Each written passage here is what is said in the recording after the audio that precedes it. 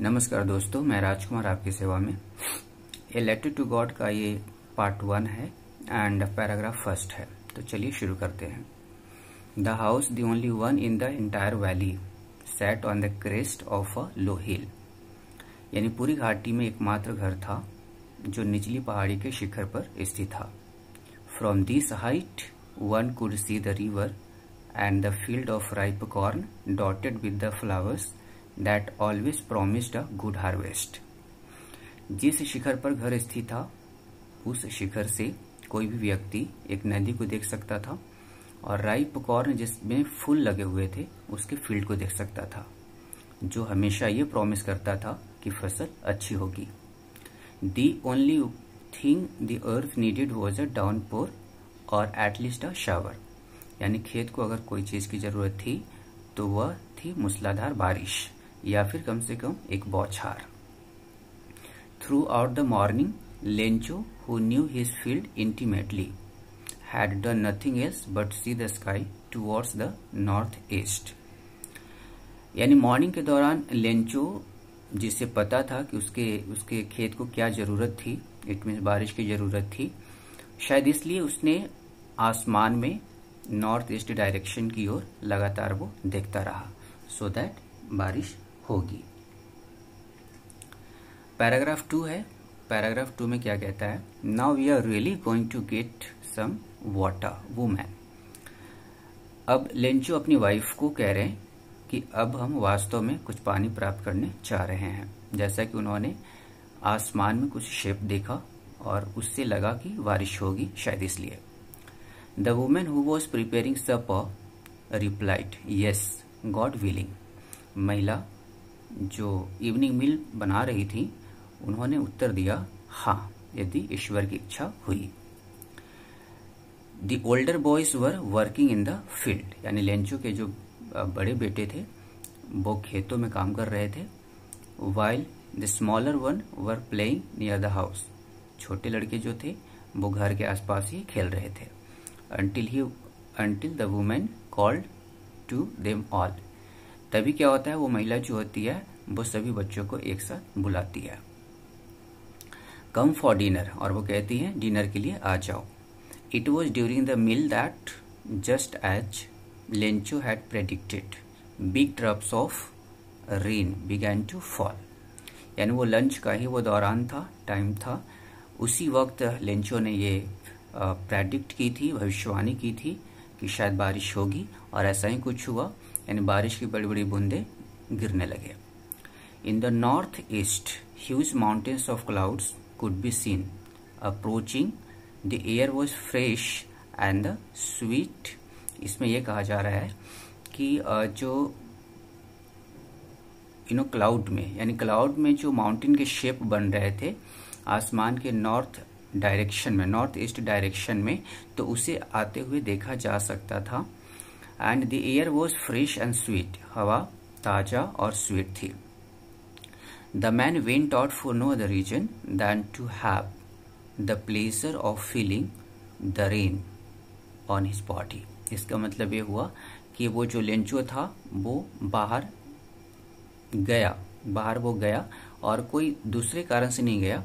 वो सिर्फ़ इसलिए गया ताकि वो बारिश की बूंदे उसके बॉडी पे गिरे और वो बारिश की बूंदे जब गिरे उसके बॉडी पे तो उसकी फीलिंग जो उत्पन्न हो तो उसे महसूस करने के लिए, उसे एंजॉय करने के लिए वो गया था। And when he return he exclaim और जब वो बारिश से वो अपने घर लौटा तो उसने कहा there are rain drops falling from the sky यानी बाहर जो बारिश है it means these aren't rain drops falling from the sky it means बाहर जो आसमान से बारिश हो रही है बारिश के जो बूंदे गिर रहे हैं, वो रियली में रेन ड्रॉप्स नहीं है। दे आर न्यू कॉइन्स वे क्या है? न्यू कॉइन्स हैं। यहाँ पे न्यू कॉइन्स इसलिए कह रहे हैं सो दैट उनकी जो एक विश थी कि जो उनके जो फ़सल रेडी थे, उनको सिर्फ़ एक यू नो मूसलाधार बारिश की ज़रूरत थी और वो बारिश होने लगी थी तो इस वजह से वहाँ पे बारिश की हर बूंदों को वो न्यू कॉइन्स के रूप में देख रहे हैं और वो कह रहे हैं। The big drops are ten cent pieces it means वो कह रहे हैं कि जो बारिश की बड़ी बड़ी बूंदे हैं वो टेन सेंट्स के बराबर हैं and the little ones are five and छोटी छोटी जो बारिश की बूंदे हैं वो फाइव सेंट्स के बराबर है। अब है पैराग्राफ थ्री पैराग्राफ थ्री क्या कहता? With a satisfied expression he regarded the field of ripe corn with its flowers draped in a curtain of rain जब बारिश होने लगी, बारिश की बड़ी बड़ी बूंदे गिरने लगे तो ये काफ़ी खुश हो गया लेंचो।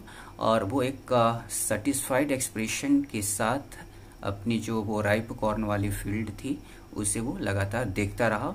और देखते ही देखते वो बारिश से उसका जो फ़ील्ड ऑफ़ राइप कॉर्न था, वो भर गया।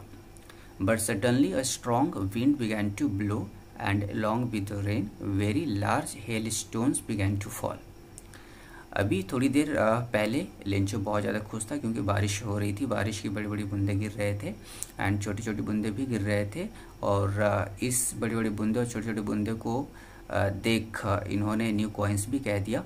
लेकिन हुआ अब क्या? अचानक से ना बहुत तेज हवा चलने लगी और साथ ही साथ बारिश भी होने लगी और भी तेज एंड ओले भी गिरने शुरू हो गए।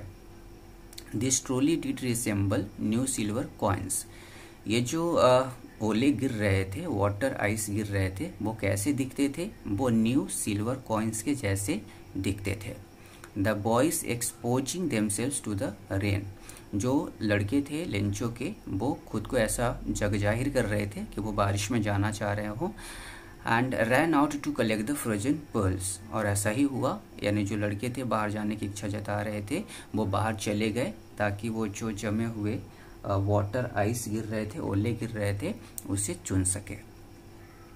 पैराग्राफ फोर है। It's really getting bad now exclaim the man यानी लेंचो ने कहा कि यह अब बहुत बुरा हो रहा है। I hope it passes quickly मुझे आशा है कि बारिश जल्दी ही रुक जाएगी। It did not pass quickly पर ऐसा कुछ भी नहीं हुआ। बारिश जल्द नहीं रुकी। For an hour the hail rained on the house यानी एक घंटे तक। ओले घर के ऊपर गिरते रहे। द गार्डन गार्डन में भी गिरते रहे। द हिल साइड और हिल साइड वाले एरिया में भी गिरते रहे। द कॉर्न फ़ील्ड और वो जो राइप कॉर्न फ़ील्ड जो था, उसमें भी ओले गिरते रहे। ऑन द होल वैली और पूरी तरह से पूरी घाटी में ओले गिरते रहे।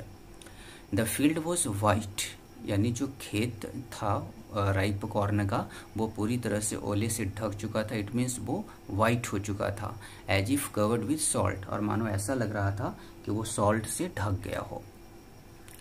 अब है paragraph five not a leaf remained on the trees अब वो लेंचो ये फील कर रहे हैं और बोल रहे हैं कि पेड़ों पर एक पत्ता तक नहीं रहा। The flowers were gone from the plants पौधों से फूल सारे नष्ट हो गए। जो राइप कॉर्न में लगे हुए थे। The corn was totally destroyed जो राइप कॉर्न था, जो पूरी तरह से फ़सल रेडी था, सिर्फ़ एक मूसलाधार बारिश की ज़रूरत थी, वो भी पूरा हो गया, लेकिन ये ओले बीच में आकर के पूरी तरह से नष्ट कर दिया था। Lencho soul was filled with sadness यानी लेंचो की जो आत्मा थी, पूरी तरह से दुख से भर गई थी। When the storm had passed जब तूफ़ान ये थम गया, रुक गया he stood in the middle of the field तो लेंचो ने क्या किया? अपने खेत के बीचों बीच जाकर खड़ा हो गया and said to his sons और वो अपने बेटों से कहा a plague of locust would have left more than this उसने ये उसने ये बताने की कोशिश की है कि यदि इंसेक्ट भी मेरे फ़सल में लगे हुए होते तो शायद इतना बर्बाद नहीं करते और इससे कहीं ज़्यादा बच जाता। The hail has left nothing यानी ओले ने कुछ भी नहीं छोड़ा। This year we will have no corn यानी इस वर्ष हमारे पास कॉर्न नहीं होगा। Now paragraph six that night was a sorrowful one it means वह जो रात थी, लेंचो के लिए दुखद थी हर्ट ब्रोकन थी। All our work for nothing it means जो उनका टारगेट था कि फ़सल अच्छी होगी, जैसा कि मूसलाधार बारिश की ज़रूरत थी, वो भी होनी शुरू हो गई थी तो ये ओले गिरने से क्या हुआ? पूरी तरह से उनका जो फ़सल था राइप कॉर्न नष्ट हो चुका था। इट मीन्स उनकी जो चाह थी, वो पूरा नहीं हो पाया।